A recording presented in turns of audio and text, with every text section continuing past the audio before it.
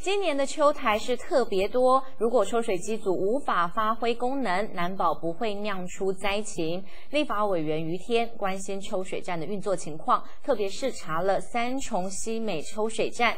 他表示将向行政院反映，扩大内需，争取经费，增加西美抽水站两组机具。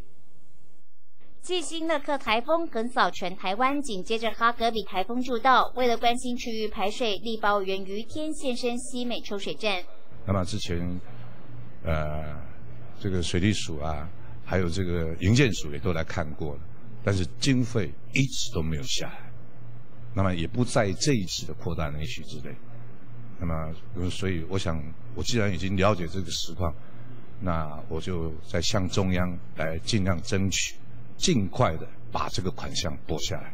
像我们三重总共扩大内需一千多亿的预算，我们三重只分到两样工程这样子，那我是觉得这比例原则有点不太符合，尤其是我们三重很多居住的人口都是外地的人口嘛。